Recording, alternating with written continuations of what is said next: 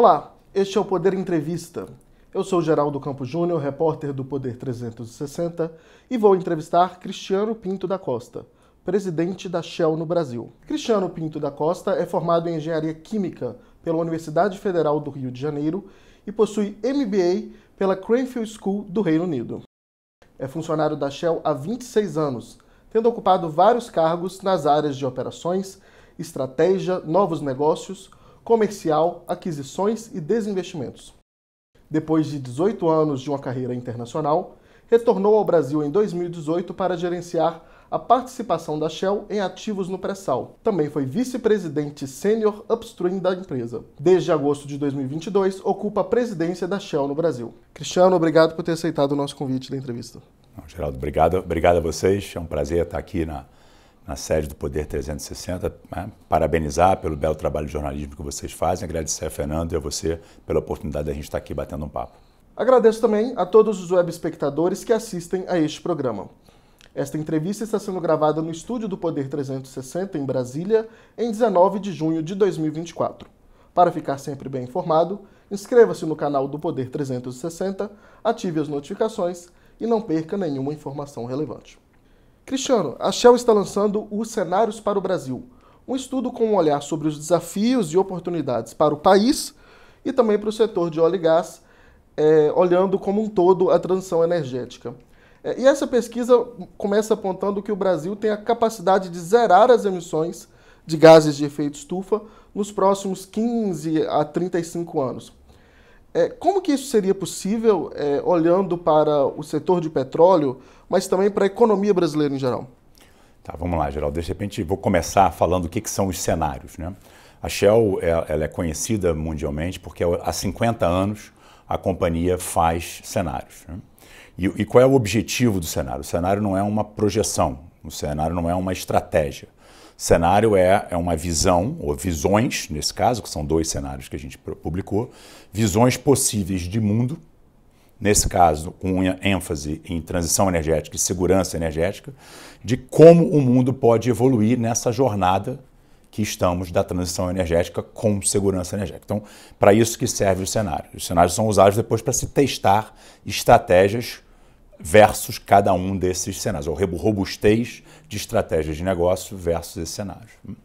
Em 2023, a Shell fez a atualização desses cenários globais, né? mostrando dois potenciais cenários. Um que se chama Sky 2050, aonde o mundo, através de uma colaboração sem precedentes até hoje entre governos, iniciativa privada, iniciativa pública, consegue chegar a emissões líquidas zero em 2050. Esse é um dos cenários. O outro cenário é chamado arquipélagos.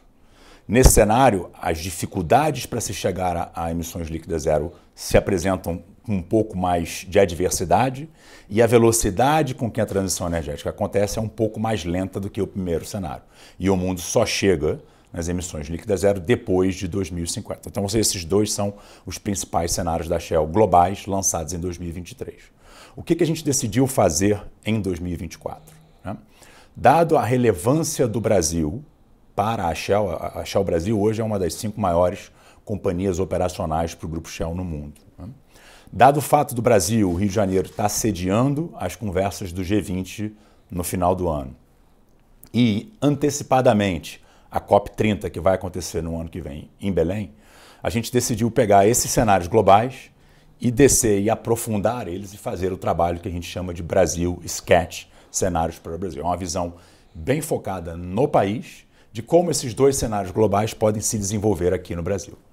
Como é que esse trabalho foi feito? Ele foi liderado pelo Grupo Central de Estratégia e de Cenários da Shell, mas ele foi feito, é importante frisar isso, ele foi feito em parceria com mais de 20 atores do setor de energia no Brasil.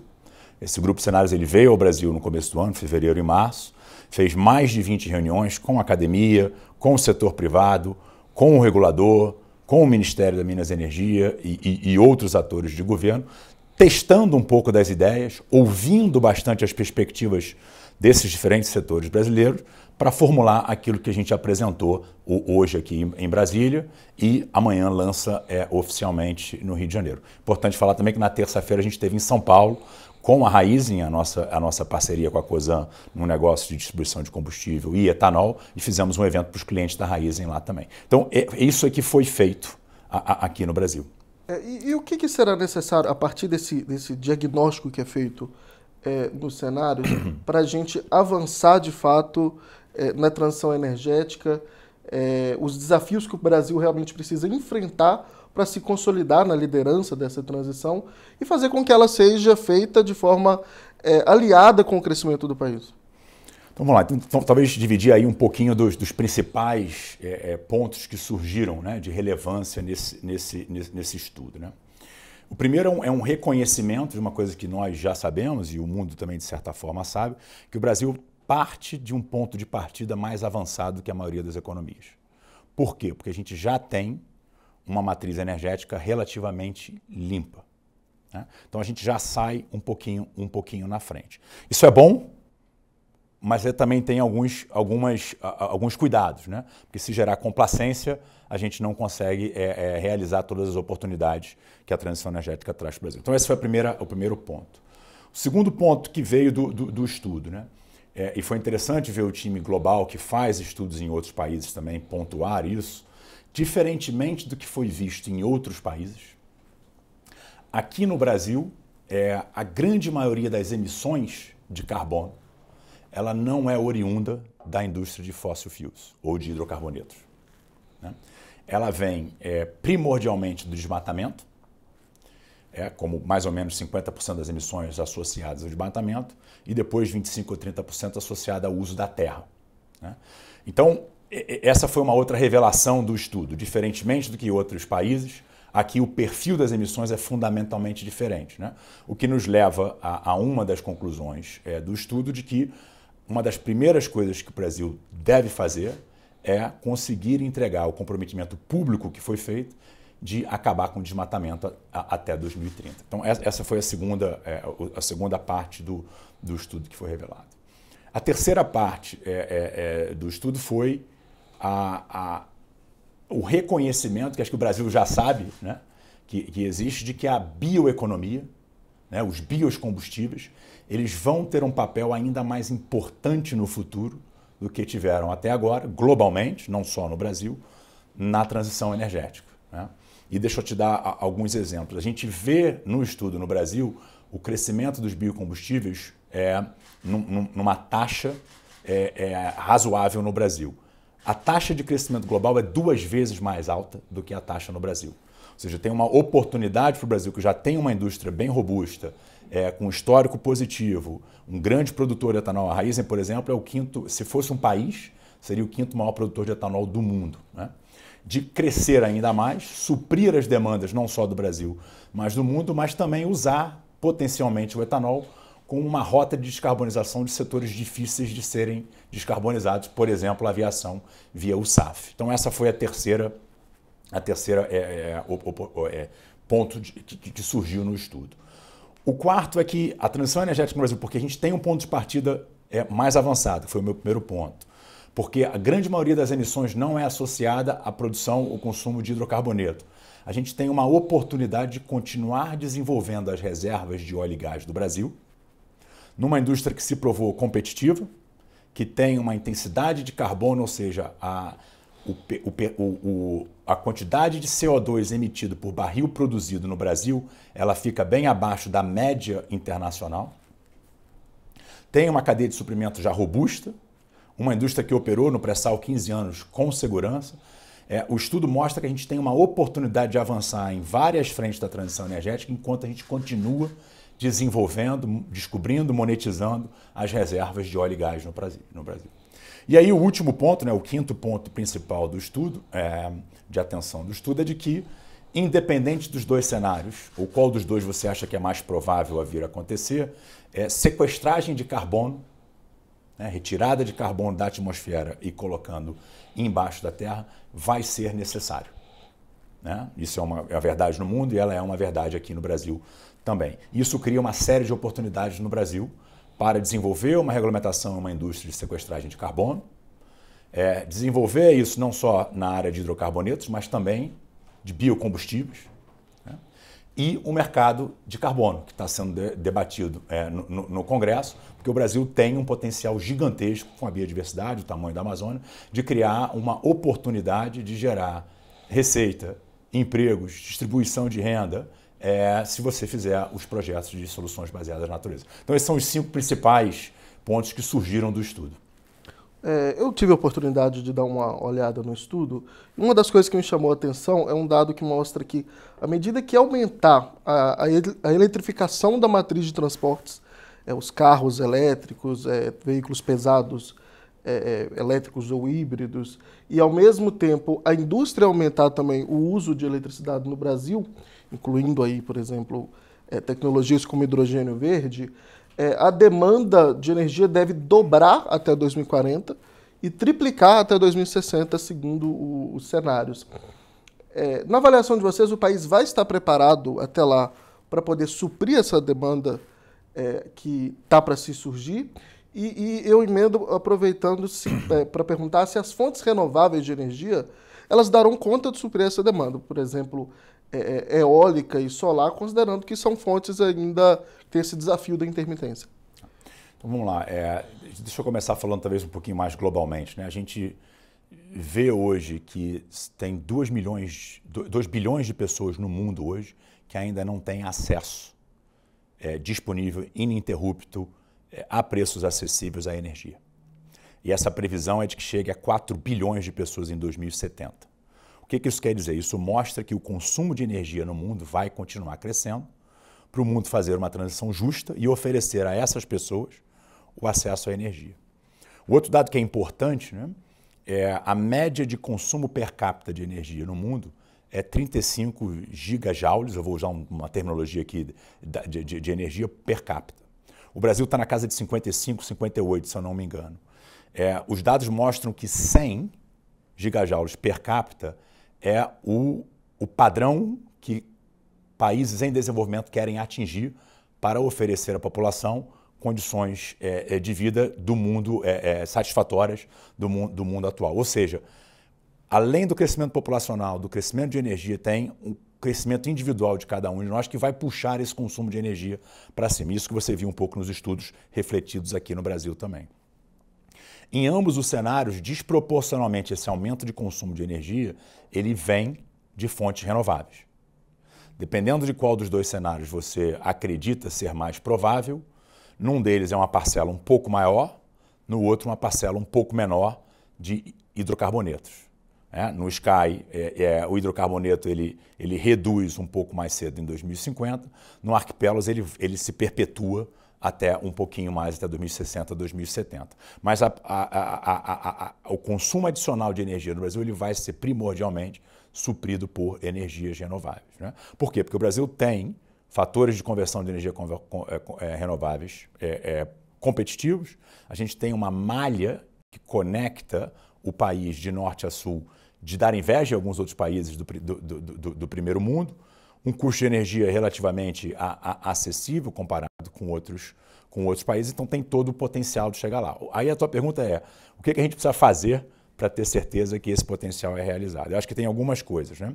É, a parte regulatória, né? avançar nas políticas regulatórias dessas novas energias é muito importante. Né? Eu citei é, o, mercado, o mercado de carbono, essa é, essa é uma delas.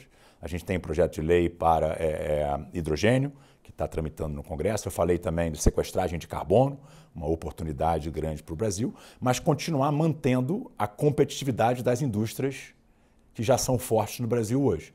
A indústria de exploração e produção precisa manter a sua competitividade, porque o Brasil tem um papel relevante como exportador é, por décadas a, a, adiante. A indústria de biocombustíveis também. Então, a, a regulamentação é, competitiva, estável, com estabilidade jurídica regulatória é fundamental. E celeridade em alguma dessas é, áreas que são novas de negócio para o Brasil.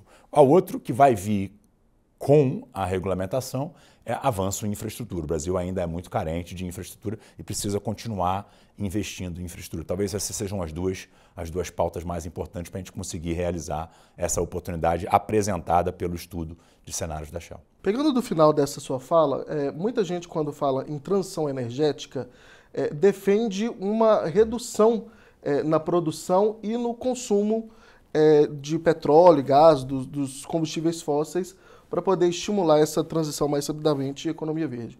Mas o que a gente vê, é, inclusive os cenários mostram isso, em qualquer uma dos, dos das, das, correntes, é que é, aumentar a, o, o, Brasil deve aumentar a produção de petróleo nos próximos anos, é, que há um potencial para isso é, e que é, há um potencial, inclusive, de crescimento sem afetar é, essa transição energética, inclusive ajudá-la nos próximos anos. Você poderia explicar para a gente como esses dois cenários é, e qual que é o mais factível atualmente para o setor de petróleo é, continuar é, é tendo é, a relevância que tem na, nessa transição energética? Vamos lá, ótima, ótima pergunta, Geraldo. É, é um fato né, que a gente, não só nos cenários da Shell, mas em outros estudos de agências internacionais, e re recentemente a EPR publicou um, um estudo que é, corrobora com essa visão que a, que a Shell tem, de que o, o mundo, apesar de reconhecer os desafios climáticos, apesar de reconhecer e estar atuando na transição energética, apesar de reconhecer que a gente precisa acelerar a transição um, energética, é uma realidade de que é, é muito difícil você desconstruir um sistema que foi montado nas últimas décadas, que supre a energia que a gente tem hoje via hidrocarbonetos, numa velocidade tão rápida para outras fontes de energia. Por isso, o mundo vai continuar de forma competitiva. Né? É, por isso, o mundo vai continuar necessitando de hidrocarbonetos durante décadas. Dependendo de qual cenário você acredita mais, talvez essa dependência acabe um pouco mais cedo, talvez essa dependência dure um, um pouco mais. Então, isso é, está virando um, um, um, consenso entre várias pessoas, baseados em vários, em vários estudos. E aí se insere a oportunidade para o Brasil. Né? Porque o Brasil já está mais avançado que outras economias? Porque o grande, é, é, o grande percentual de emissões do Brasil não está associado com hidrocarboneto. Está associado, como eu falei, uso da terra, desmatamento e práticas de, de, de, de agricultura e uso do solo. O Brasil tem uma oportunidade de progredir em todas essas frentes. Eu acho que às vezes a gente erra um pouco no debate de achar que a transição energética é você fazer 100% de uma coisa e 0% na outra. Na verdade, é por isso que é chamado transição, não é chamado ruptura energética. Você vai precisar andar com velocidades talvez diferentes. As velocidades vão ser diferentes dependendo do país que você está no mundo, mas o Brasil tem uma oportunidade de continuar avançando no renovável, continuar avançando no, no biocombustível, continuar avançando na exploração e produção de óleo e gás, trazendo receitas, emprego, geração de renda, impostos para o Brasil. No mercado de carbono, na criação de novas indústrias como carbono, soluções baseadas na natureza, sequestragem de carbono, hidrogênio, tudo isso pode andar em paralelo. Né? Eu acho que essa é a grande oportunidade que o Brasil tem e o estudo que a gente fez, como eu falei, é validado também por outros estudos semelhantes, eles confirmam a, a, a oportunidade que o Brasil tem. No setor de petróleo específico, considerando é, essa margem ainda para crescimento, é, tem como é, se pensar o futuro do setor ainda mais descarbonizado? O que, que pode ser feito para isso, por exemplo, para o setor conseguir zerar ou pelo menos mitigar todas as suas é, emissões líquidas. Talvez voltar um pouquinho na tua pergunta anterior, que você tocou num tema que eu, que eu, eu acabei não falando, né? suprimento versus demanda. Né? É, é, existe uma, uma visão que eu, que eu respeito de que você tem que atacar a questão das emissões influenciando no suprimento, né? na forma é, que você supre ou gera energia. Né? Essa é uma, é uma solução. Existe uma outra solução que acho que é uma corrente que eu penso é, é ser talvez um pouco mais construtiva e efetiva, né? é você atuar do ponto de vista da demanda. Né? É você estimular demanda de combustíveis renováveis, que foi muito que o Brasil fez e criou a indústria do etanol. A indústria do etanol ela foi criada por estímulo na regulamentação da inserção no percentual de etanol na gasolina, que vem progressivamente crescendo ao longo do tempo. A gente acredita que isso vai acontecer em outras indústrias, por exemplo, na aviação também. Então, atuar na redução das emissões de carbono via a demanda eu acho ser um pouco mais produtivo. O outro ponto da demanda é você criar um mercado de carbono. Ao criar o mercado de carbono, você cria uma oportunidade para compra e venda de créditos de carbono, dependendo de quem está consumindo mais ou menos energia e, consequentemente, energia menos limpa e, consequentemente, emitindo mais CO2. Então, atuar do ponto de vista da demanda, para mim, é uma forma mais eficaz de se chegar mais rápido a emissões líquidas zero. Né? Então, acho que esse, era um ponto na, na, na, na, pergunta, na pergunta anterior. Voltando lá para o setor, setor de óleo e gás, né, que, você, que você falou. O que, que o setor de óleo e gás ele pode fazer é, como produtor de exploração, produção de óleo e gás? Né? É, é, trabalhar na eficiência das operações. Né? Ou seja, você pode, como eu, eu, citei o Brasil, né? o Brasil hoje tem uma intensidade de carbono para o barril produzido mais baixa do que a média global. Né? Isso a gente chama de escopo 1 e escopo 2 de emissões. Tem três tipos de escopo de emissão: 1, 2 e 3. 1 e 2 é, são as emissões que são geradas na sua própria operação, né? É consumo ou na sua operação. O escopo 3 é as emissões que são geradas pelo produto que você gera. Né? Então, o que, que o setor pode fazer de exploração e produção? Atuar cada vez mais consistentemente naquilo que a gente chama de escopo 1 e escopo 2, ou seja, produzir mais petróleo com uma baixa intensidade de carbono. E aí tem uma série de exemplos na indústria. Por exemplo, em parceria com a Petrobras, a gente agora eliminou as operações de flare. Flare é a queima de gás nas plataformas. Isso agora tem uma tecnologia que captura isso e volta e utiliza a, aquele gás. Né? É, todos os novos navios plataformas que estão sendo é, projetados para a entrada no, no, no, mercado brasileiro, eles vêm com uma tecnologia chamada All Electric, ou seja, são novas turbinas, é uma capacidade de gerar ação energia elétrica das plataformas com sistemas renováveis e não só com diesel ou, ou, ou gás, que são hidro, hidrocarbonetos. E aí tem vários, vários diversos exemplos nessa área. Então, continuar trabalhando em eficiência energética, da forma como a gente explora e produz é, óleo e gás, é um fator importantíssimo, eu diria mandatório, é, e todas as grandes operadoras brasileiras, as nacionais e internacionais, elas assinaram um acordo de redução de emissões de metano entre agora e o final de 2030. Ou seja, está todo mundo caminhando nessa direção. Então, essa é uma, uma, contribuição. A outra contribuição é via pesquisa e desenvolvimento. A indústria de óleo e gás, a indústria de exploração e produção, é uma indústria que tem uma, uma, um, um track record, né? vou usar aqui uma expressão, um anglicismo aqui, é de ser uma indústria muito inovadora. E o que, que a gente vem tentando fazer aqui no Brasil, é, com é, o suporte do regulador, da ANP, com a cláusula é, de pesquisa e desenvolvimento, que obriga os produtores do pré-sal a investir 1% da receita é, oriunda do pré-sal em pesquisa e desenvolvimento. A gente tem direcionado cada vez mais essa verba de pesquisa e desenvolvimento, que são valores é, é, vultuosos. Né? A Shell, só a Shell investe 500 milhões de reais por ano em pesquisa e desenvolvimento no Brasil. A gente tem direcionado isso cada vez mais para a eficiência energética, tanto das operações de exploração e produção, como também projetos de transição energética para desenvolvimento de novas tecnologias que vão viabilizar é, essas novas indústrias do futuro. Então, essa é uma outra área que a indústria de óleo e gás pode fazer para poder contribuir ou dar a sua contribuição é, na transição energética também. Pegando dessa contribuição e também de um, de um ponto que o senhor falou há pouco sobre a transição não ser uma ruptura e sim um processo, é, eu queria trazer aqui rapidamente a questão do gás natural é, que um dos cenários do, do, estudo mostra que ele deve crescer na matriz energética brasileira nos próximos anos, o que já ajudaria numa, numa transição, já que é um combustível menos poluente, por exemplo, do que o, o diesel, é, e que o Brasil poderia até chegar a ser um exportador de gás daqui a, a uns 30 anos, segundo o cenário. É, qual que seria, na visão de vocês, da indústria, do setor, o papel do gás nesse futuro do setor e da transição energética? É, o, gás tem um papel no, mundo é, extremamente importante. Né? No Brasil é um pouco menos, e o estudo mostra isso. Por quê? Porque o Brasil usa muito pouco carvão na matriz energética. Né? Onde a gente vê, como companhia Shell globalmente, o grande papel do gás natural é em substituição do carvão para a geração de energia elétrica o, o gás ele tem uma, uma, uma, mais baixa intensidade de carbono versus o carvão. E aí a companhia aposta bastante no gás natural como esse combustível de transição, estou falando globalmente, como substituição do carvão, especialmente na Ásia. Né? Então, é, esse é o grande fator. No Brasil, esse fator ele não é tão relevante, como eu falei. A matriz energética brasileira já é bem mais renovável, muito por causa da, do, do, do, das hidrelétricas, é, e baixa utiliza, utilização do carvão.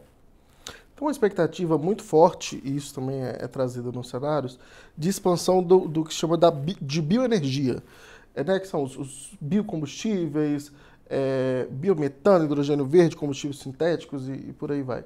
É, qual que é a expectativa é, para esse segmento a partir de agora? É, eu acho que isso fica evidenciado né, em ambos os cenários que a gente colocou, que o consumo de biocombustíveis né, e, a, e a, a, o reconhecimento internacional de que os biocombustíveis vão ter um papel maior ou mais prominente na transição energética daqui para frente do que tiveram até agora, isso é muito claro. Seja ele via o etanol, seja ele via o biometano, seja ele via, via o biodiesel. Então a gente vê com um, um, grau de otimismo, não só para os negócios da Shell no Brasil, via Raiz, mas para o Brasil também, que tem uma indústria é, muito forte é, de etanol, por exemplo. Né? Vou dar um exemplo aqui, é, é, o etanol de segunda geração da Raiz. Né? A Raiz recentemente inaugurou a sua segunda planta de etanol de segunda geração, que é, tem, são nove plantas já com decisão de investimento tomada, mais ou menos duas por ano a partir do ano que vem vão entrar em produção, e via um processo otimizado versus o processo de produção de etanol de primeira geração, você consegue gerar um etanol que tem 30% menos intensidade de carbono. Esse é um produto que está sendo, está é, chamando cada vez mais a atenção, não só no Brasil, mas fora do Brasil, com demanda crescente por clientes industriais e possivelmente com uma rota é, para descarbonizar a aviação via o SAF. Então o potencial ele é, ele é muito claro para o Brasil nessa área, sem dúvida nenhuma. É, a gente tem notado um interesse global, sobretudo dos países mais desenvolvidos no Brasil, é, por causa desse potencial que a gente tem é, de bioenergia, esse potencial que o Brasil mostra ter é, na transição energética para liderá-la é, mundialmente. É, a, gente vê países desenvolvidos, por exemplo, manifestando interesse de investir aqui é, na área de bioenergia, mas pensando muito por uma ótica de exportação. Vamos fazer hidrogênio verde para exportar, vamos fazer combustível é, sustentável para exportar. você acha que, além de ser um grande produtor de energia verde, é, o Brasil é, terá potencial para ser um grande beneficiador interno dessa energia, ou seja, produzir aqui os produtos com ela, como é, aço verde, fertilizantes, e não ser só um, um exportador de energia verde? Eu acredito que sim. É, se você olhar o estudo também, o estudo aponta em alguns cenários para as oportunidades, né, se a gente conseguir avançar na questão da infraestrutura, como eu falei, em marcos regulatórios, é, estabilidade regulatória, fiscal, jurídica no país, atrair mais investimento e agregar valor aqui, aqui no Brasil. O estudo mostra algumas coisas. O SAF, é, por que exportar o etanol e fazer o SAF fora ao invés de tentar fazer isso no Brasil? Então, o estudo mostra que há um, um, um cenário onde progressivamente o etanol ele migra de fundamentalmente hoje ser usado para transporte, e, é, de carros né, é, é, e passageiros para virar é, potencialmente uma rota para descarbonizar a aviação. Né? A outra coisa que o estudo mostra também é um potencial de fabricar fertilizantes no Brasil. É, o Brasil é um grande é, é, produtor agrícola, um grande exportador de produtos agrícolas. Hoje importa um percentual elevadíssimo de fertilizantes. E ou via o gás natural ou via o hidrogênio, você tem rotas de, de repente, criar uma autossuficiência aí também. Então, estou dando aqui dois exemplos que eu acredito que há, sim, uma oportunidade para o Brasil é, de agregar valor a, aos recursos naturais e manter um pouco desse valor agregado dentro do país. Ótimo. Isso está isso tá claro no, na, né, né, na, visão do governo. Né? É, o Ministério da Indústria e Comércio ele, ele, ele, vislumbra, ele visualiza esse potencial, está trabalhando para tentar é, é, criar as políticas necessárias para que esse investimento fique aqui no Brasil. Cristiano, eu queria trazer agora um pouco desse cenário futuro para o tempo presente e falar um pouco também de vocês da Shell em específico. O que, que a Shell já está fazendo é, no sentido da transição energética? É, que iniciativas de descarbonização, renováveis, é, hidrogênio verde é, de, de, e os planos de investimentos da Shell para o Brasil é, dentro desse escopo? Vamos lá, vou, vou, falar de uma forma mais abrangente. Né? A Shell, é, é, esse ano, com muito orgulho, celebrou 111 anos de presença contínua no Brasil. Né?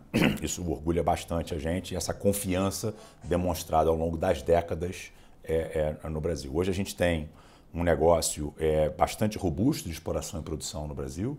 A gente produz 400 mil, 400 mil barris de óleo equivalente por dia, segundo maior produtor, depois, depois da Petrobras. Um grande parceiro da Petrobras, é, principalmente é, no pré-sal brasileiro, é, com uma, uma visão de potencial de Brasil para continuar crescendo na área de exploração ainda muito grande. Né? A Shell foi a única companhia internacional que participou em todos os leilões da ANP desde a abertura do mercado. Né? Nos últimos dois leilões, no leilão do ano passado, a gente adquiriu 29 blocos de exploração numa nova bacia exploratória chamada Bacia de Pelotas, em parceria com a Petrobras. No leilão do ano anterior, a gente adquiriu 11 blocos é, na, na Bacia do Sul de Santos, ou seja, a gente acredita no potencial geológico, a gente acredita no potencial de exploração e produção do Brasil. Então, esse, esse, é, esse é, é, é um dos negócios mais, mais fortes da companhia no Brasil. A gente tem um negócio de distribuição de combustível e etanol, que é uma parceria com o Grupo Cosan, na companhia chamada Raizen, é, que é um dos maiores atores de distribuição, comercialização de combustíveis, um dos maiores produtores de etanol no Brasil. E como eu falei, né, a gente acredita muito no potencial do etanol na transição energética, a gente vê uma demanda crescente por etanol em novas rotas de carbonização no Brasil, mas também fora do Brasil, é um produto que está ficando cada vez mais está é, tá sendo notado cada vez mais. Então, e eu já falei dos planos de investimento da Raiz. São nove plantas de etanol de segunda geração. A segunda é inaugurada recentemente, tem mais sete ainda e eventualmente depois, quem sabe, mais ainda, ainda, ainda no futuro. Então esse é, esse é o segundo grande negócio da companhia no Brasil. E a gente vem tomando passos para tentar criar outros negócios no, no, país. São negócios que estão hoje em fase de desenvolvimento. Né? A gente tem um portfólio de, de projetos na área de renováveis, primordialmente solar em terra, é, com oportunidades de desenvolver projetos entre agora e o final da década, é, na casa de 2 gigawatts de projetos que a gente tem. É, podem ser tomadas decisões finais de investimento se as condições econômicas estiverem favoráveis para isso. É praticamente um por ano entre agora e o final é, de 2025 a 2030 que a gente pode decidir ou não ir adiante montando um negócio de, de, de geração de energia renovável no Brasil. A gente, ano passado, investiu numa comercializadora de energia, uma companhia chamada Prime Energy, é, para poder acelerar a nossa participação no mercado é, é, aberto, de regulado de, de, de, energia elétrica no Brasil. Né? Seis meses já desde essa dessa aquisição e a gente está vendo a conversão de clientes indo numa, numa velocidade muito, muito, muito atrativa. Né? A, a, marca Shell tem ajudado bastante a gente é, é a ganhar mais, mais clientes. Há, dois anos atrás, a gente tomou uma posição minoritária num grande é, desenvolvedor de, de, de, de carbono, uma, uma, companhia que opera na área de soluções baseadas na, é, na natureza, a companhia chamada Carbon Next. A gente tomou uma posição minoritária e eles estão desenvolvendo projetos que geram, vão gerar no futuro créditos de carbono, principalmente na, na região da Amazônia. Então a gente vem tomando passos é, é, em montar eventualmente esses negócios que vão ser possivelmente o futuro da companhia. SAF e eólica também está no radar de vocês? É, o SAF está sendo estudado via raiz, né? Dado a, a, a, a, interdependência do etanol, faz muito mais sentido isso ser feito via, em parceria, né? via a raiz. A gente estuda SAF fora do Brasil como Shell, mas no Brasil a gente faz isso via, via a raiz. Eólica offshore a gente estudou, só que a gente acredita que no momento ainda vai demorar um pouquinho mais, porque o custo de competitividade da eólica offshore ele ainda não é tão forte quanto, por exemplo, é, é solar onshore ou a própria eólica on, on, onshore. E, o, e, o, e, o, e o, marco regulatório ainda não está ainda não tá avançado. E a indústria de eólica offshore passou por alguns desafios internacionais também. Né? Ela cresceu exponencialmente e a cadeia de suprimento teve muita dificuldade de fornecer. Então, a gente está olhando ali, mas a gente vê que isso aqui possa acontecer um pouquinho mais para frente do que originalmente se pensava alguns anos atrás. É, na área de exploração, você mencionou é, agora há pouco, a empresa fez algumas aquisições recentes. No último leilão teve Pelotas, junto com a Petrobras. É, no anterior, também no, no sul de Santos. É, tem participação de ativos de produção também operados pela Petrobras, é, é, parcerias. Tem a, a produção própria ali no, no Parque das Conchas, ali no, no na Bacia de Campos, é uma operação direta da Shell. Então, é, como vocês estão vendo, diante de toda essa, essa atuação de vocês, é, o futuro desses ativos, o que, que vocês estão projetando de, de investimento para o setor de exploração e produção hoje? Então, de novo, a gente, começando pelo Brasil, né? eu vejo um potencial enorme do Brasil, é, dado que o mundo vai continuar consumindo hidrocarboneto, dado que o Brasil tem uma indústria é, com uma reputação positiva, né? o pessoal acabou de comparar 15 anos de operação sem nenhum incidente é, é, é, é relevante na, na, na indústria. É, dado que o Brasil já está mais avançado na transição energética do que as maioria, da maioria das, das grandes economias, o Brasil tem o potencial de continuar explorando e produzindo hidrocarbonetos. A gente acredita nisso e os dados, tanto do nosso estudo, mas, por exemplo, o estudo da EPE que eu também referenciei, confirmam e corroboram essa visão da Shell. É, quais são os planos da companhia? A gente quer continuar crescendo no Brasil nessa área. Né? Isso está evidenciado, não, é só, não, são só promessas, está evidenciado pelos investimentos. Historicamente, a gente investiu 1,5 bilhões de dólares nesse negócio no Brasil por ano, é, no, no, nos últimos anos. A gente recentemente, mês passado, é, tomou a decisão final de investimento em parceria com a Petrobras num projeto chamado Atapu 2, é o segundo campo de produção de Atapu, oriundo do leilão da sessão, do excedente da seção onerosa lá em, 2000, em 2021. A gente tem um projeto operado pela Shell chamado Projeto de Gato do Mato, que está em fase de, de, detalhe de engenharia e contratação, tem um, um uma, uma, um, um, tender, né, um request for proposal é, no mercado. Já tem licenciamento? Já, já é, tem tem, tem para essa fase. Né? O licenciamento ele sai, ele, ele sai por fase. Né? Para essa fase que a gente está com a possibilidade de tomar a decisão final de investimento em gato mato no ano que vem, além do portfólio todo de exploração que você, que você citou. Né? Então, a companhia continua acreditando, acreditando num futuro onde o mundo vai precisar de hidrocarboneto, a gente continua acreditando no Brasil como um, um, um grande produtor e supridor. É, e a gente vem tomando os passos nessa direção. Obviamente, para isso acontecer, é, é, super importante o Brasil manter a competitividade do setor. É, então, vou usar algum, alguns números para exemplificar aqui o que, o que, que significa isso. Né?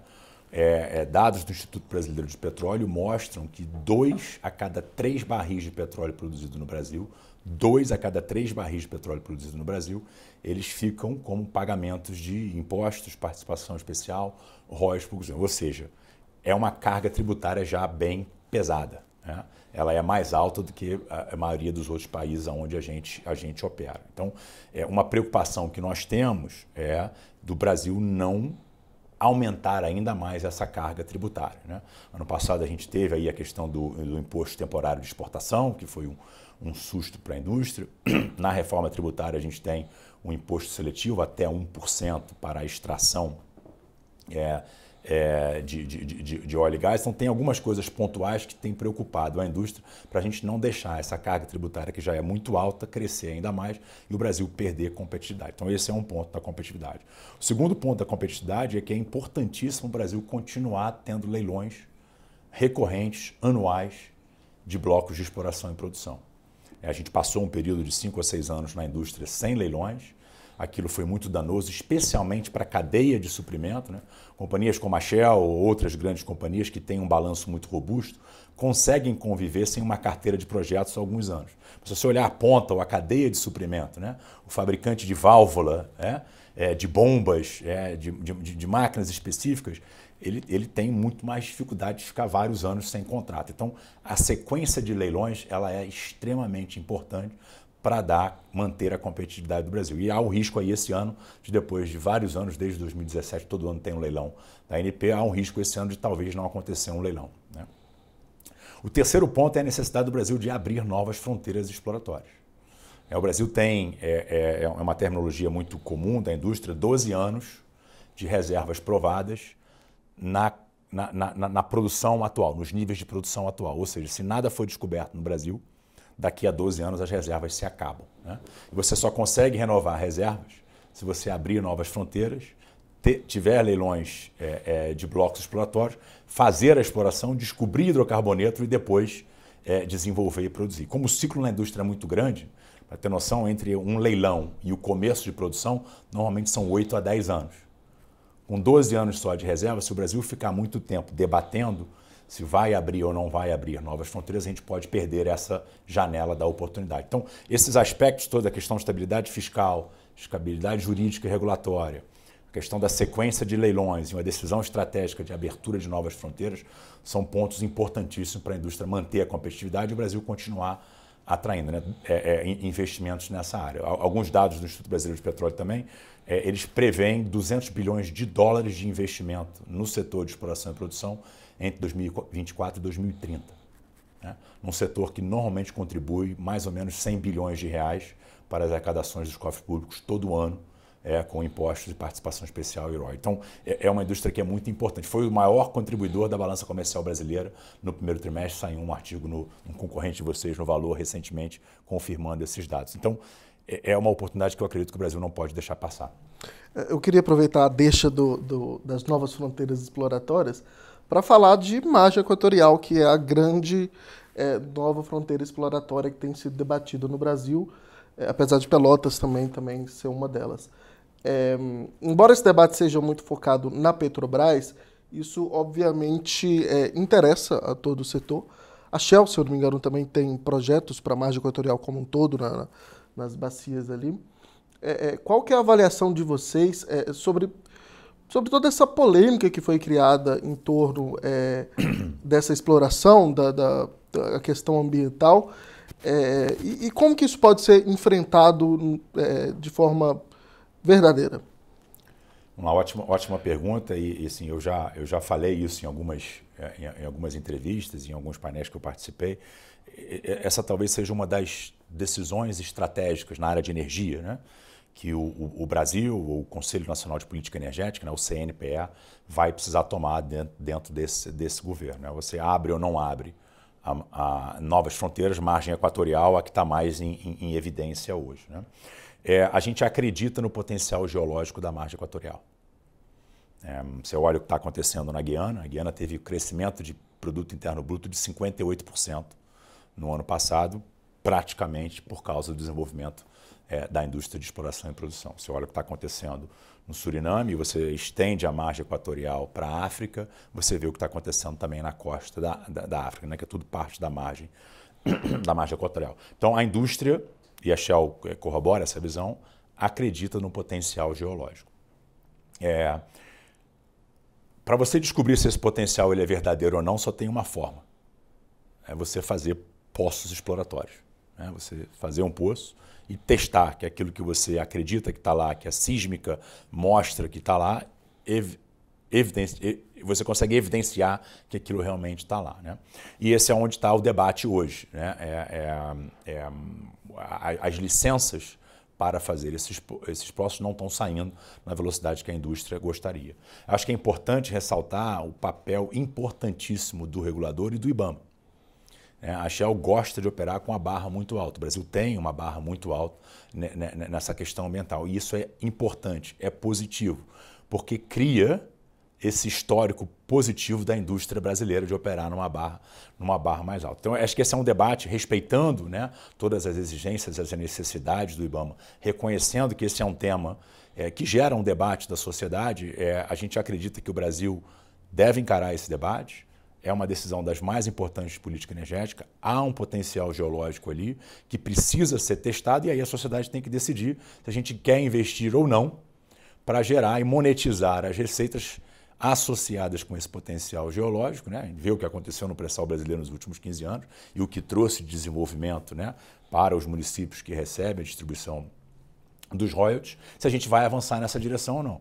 Com celeridade. Né? Por quê? Porque a janela de oportunidade, como eu falei, ela pode fechar e eh, o, os grandes atores internacionais estão olhando para os outros, os outros países, Guiana, Suriname, Namíbia, é, são, são bacias exploratórias novas hoje que estão atraindo bastante é, é, atenção do investidor internacional. A Shell tem participação, você, você colocou, a gente tem alguns blocos na bacia de Barreirinhas, a gente tem alguns blocos na bacia de Potiguar, alguns deles em parceria com a Petrobras, e a gente está esperando é, é, esse debate da sociedade brasileira, do governo brasileiro, e uma decisão né, afirmativa ou não, a gente espera que seja a, a, a afirmativa para que o Brasil possa avançar. Né? Ontem o presidente da República fez uma, uma, um pronunciamento nessa direção. Hoje o ministro da Energia, a nova presidente da Petrobras, também falou bastante em pró da abertura de novas, de novas fronteiras. Vamos ver como é que o Brasil se posiciona em relação a isso nos próximos meses ou anos. É, o governo aumentou no início do ano o chamado é, percentual de conteúdo local. É, só explicando aqui que é aquele percentual de, de bens e serviços né, das, das, que as petroleiras precisam contratar dos fornecedores nacionais. É, foi para 30%. É, qual que é a avaliação da Shell sobre isso? É, há uma, uma preocupação com o aumento de custos? É, vocês veem como positivo? Qual que é a visão de vocês? O que foi feito no começo do ano, é, a gente viu como uma coisa aceitável para a indústria. Né? Até porque, porque foi feito em consulta com a indústria. A indústria deu um input. Né? Quando a gente fala em, em, em, conteúdo local, às vezes a gente simplifica demais a conversa e acha que é um número ou um percentual para tudo que acontece num projeto das dimensões de um projeto de exploração e produção. Né? E, na verdade, esse número ele é quebrado em várias áreas ou vários setores. Né? O que a gente precisa entender é que a, a indústria nacional ela tem mais capacidade em alguns determinados setores e menos capacidade em outros setores. Então, você ajustar o conteúdo local, aonde a indústria brasileira tem mais capacidade para suprir aquele conteúdo local, faz sentido. Né? E foi o que o governo, o governo fez. Né?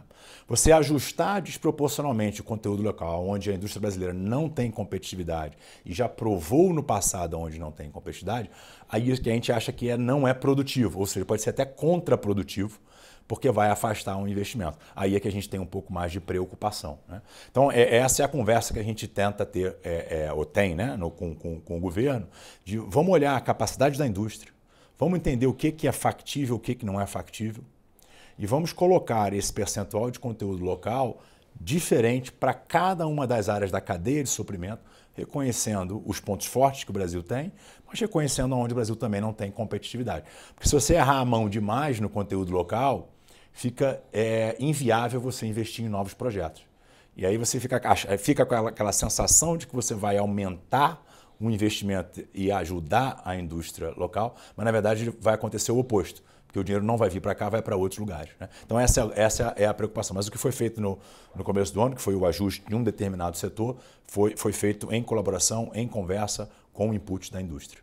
Vocês não têm margem para aumentar muito esse percentual que está agora, então? Não, acho que a gente, esse percentual que foi feito num determinada área, que é, que é na questão da exploração, a gente acha que ele está é, tá em patamares aceitáveis. Queria voltar no ponto de reforma tributária que, que você já pontuou, é, sobre o imposto seletivo. É, agora a gente está na fase de, de análise dos projetos é, para regulamentação da reforma, é, inclusive esse ponto também para ser é, fixado, a alíquota. É, qual que é a preocupação de vocês quanto a isso? Há um temor aí de, de perda de atratividade e, e fuga de, de investimentos, se isso de fato for para frente? Vamos lá. É, é, primeiro tem uma questão mais, mais fundamental. Né? A gente, na nossa visão, na visão da indústria, não é só a indústria de óleo a indústria de mineração também tem essa, essa mesma visão de que o imposto seletivo, o imposto do pecado, como ele é chamado, ele não deveria ser aplicado para a indústria de extração de, de recursos naturais. Né? Ela deveria ser aplicada, volta naquele ponto, no consumo. Né? Ela deveria ser direcionada para o consumo. Né? Eu acho que tem esse é o primeiro ponto. O segundo ponto é como o Brasil é um grande exportador de hidrocarbureto, a gente já falou isso, né? exporta bastante óleo e gás. Ao fazer a aplicação do imposto seletivo para a produção de óleo e gás, você acaba exportando imposto, o que vai contra diretrizes internacionais de tributação e também é, é a, a, alguma da, da, intenção do arcabouço, do arcabouço fiscal. Então tem aí alguns, algumas inconsistências que a gente tem apontado para o governo. Em relação a, a, ao impacto na competitividade, é um pouco o ponto que eu falei. A, dois a cada três barris de petróleo hoje produzidos no Brasil, eles já ficam como imposto de participação especial, royalties. Né? É, muita gente fala, mas é só até 1%. A preocupação da indústria é o, é o efeito cumulativo de várias dessas, dessas medidas, pegando uma carga tributária que já é muito alta e tornando ela não competitiva e, como consequência, você acaba tendo menos apetite para investir no Brasil. Então, essa, essas são as preocupações que o setor tem, em particular, na sua pergunta, em relação ao imposto seletivo. Cristiano, para encerrar, eu queria falar sobre o cenário macroeconômico brasileiro. É, visto que você está no setor de petróleo, que é um dos principais é, da nossa economia, então queria só trazer uma pergunta aqui sobre é, essa questão. Há uma crítica no mercado hoje quanto é, agenda arrecadatória do governo, enquanto não é feito, por exemplo, um corte de gastos. É, isso tem ampliado incertezas é, no mercado, investidores, e a gente tem visto nos últimos dias notícias como aumento de dólar, queda de bolsa, é, afetado política monetária ali para fixar a, a, taxa de juros. É, qual que é a avaliação que, que você faz desse cenário atual da economia do Brasil e qual que é o grande problema é, na área econômica hoje, na sua visão? Uma boa, boa pergunta e está muito, tá muito de, de, debatido no momento. Né? Acho que primeiro eu queria, eu queria tirar um pouquinho o foco do curto prazo. É, eu sou de uma geração que cresceu com inflação a 30%, 40% ao mês, né? É, como muitos brasileiros. Eu lembro meus pais receberem salário e eu, como criança, ia para o supermercado com eles, com dois, três carrinhos, enchendo a, a, a, o carrinho de comida, tentando levar para casa para botar no congelador, porque o dinheiro perdia o, o, o, o valor. Isso há 20, 30 anos atrás. Né? Eu acho que essa semana ou na próxima o Plano Real vai celebrar 30 anos. Né? Se você vir o que aconteceu no Brasil, eu acho que a gente tem que também é, é, reconhecer que o Brasil fez um avanço muito grande nessas últimas três décadas para estar tá hoje debatendo é, uma inflação ser alta ou é baixa na casa dos 4%, que é, que é, que é o que a inflação está tá hoje. Então, acho que eu queria começar um pouquinho desse, de, de, desse ponto, olhar o mundo, olhar a história do Brasil num período de tempo um pouco mais longo do que, do que um, um período um pouco, um pouco mais curto. Então, é, acho que essa é a primeira, a primeira, a primeira observação. Né? É.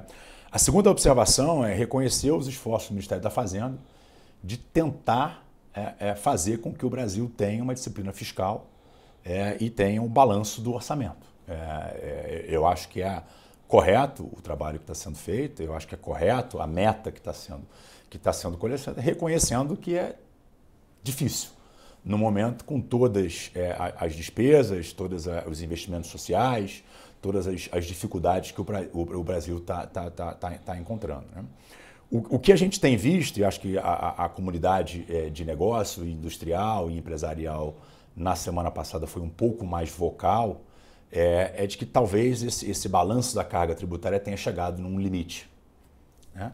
E, e, e, aí você ouviu né, algumas reações um pouco, um pouco mais fortes do empresariado brasileiro, de várias indústrias, não foi uma indústria específica, é muito como assim, consequência daquela MP 1227, né, que foi gota d'água ali na, na, naquele copo tendo uma, uma, uma, uma, uma conversa um pouco mais explícita com, com, com, com, a sociedade, com o governo, via, via imprensa, algumas vezes, de que talvez tenha chegado num ponto máximo de capacidade da indústria de aumento de carga fiscal e que, para se atingir a meta fiscal, outras é, é, é, variáveis devem ser trabalhadas. Uma delas é, é o, controle de gastos do, do governo. Né? Eu acho que, assim, para mim, é, é, é um debate extremamente saudável é, é o debate correto que a gente que a gente está tendo. É, acho que a mensagem do empresariado foi muito clara. Né? Eu falei da minha indústria aqui, que está no dois dos três barris, está é, lá em cima já no, no, limite. Outros, outros setores falaram também. Eu acho que o Brasil, entre, entre os diferentes atores, tem que ter essa conversa como continua tendo, mirar é, é, a, a meta zero de déficit mas buscar essa meta zero com diferentes variáveis ou diferentes soluções do que é, pura e simplesmente um aumento de carga tributária. Mas eu, eu, continuo otimista, eu sou otimista por natureza, eu fiquei 20 anos fora do Brasil, voltei para o Brasil porque eu queria fazer parte é, é, de volta do Brasil, e olhando a trajetória dos últimos 30 anos, eu acredito que a gente, é, e vendo o que a Shell apresentou hoje nos cenários brasileiros, né, quanta oportunidade o Brasil tem, se a gente acertar nas políticas públicas, se a gente acertar na, na discussão entre iniciativa privada e poder público, é, se a gente acertar mais do que errar, o Brasil tem uma oportunidade muito grande nos próximos 10, 20 ou 30 anos de ser um grande ator e se beneficiar bastante da transição energética. Então eu continuo otimista e gosto de olhar as coisas com um horizonte de tempo um pouquinho maior do que o, o ponto específico que a gente está vivendo no momento. Bom, chega ao final essa edição do Poder Entrevista.